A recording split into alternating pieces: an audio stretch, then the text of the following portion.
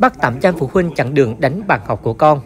Tối qua, Công an huyện Tư Nghĩa, tỉnh Quảng Ngãi đã khởi tố vụ án, khởi tố bị can và bắt tạm giam 3 tháng với ông Phan Thường Mỹ, 44 tuổi, trú tổ dân phố 1, thị trấn La Hà, về tội cố ý gây thương tích hoặc gây tổn hại sức khỏe cho người khác.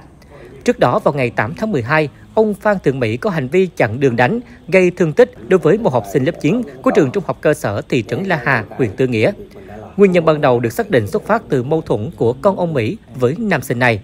Trên đường đi học về, nam sinh đã bị ông Mỹ chặn đường, đánh liên tiếp và gục xuống đường. Người dân địa phương đưa nạn nhân đến bệnh viện cấp cứu. Tỷ lệ thương tật được xác định là 12%. Toàn bộ sự việc được camera an ninh gần đó ghi lại.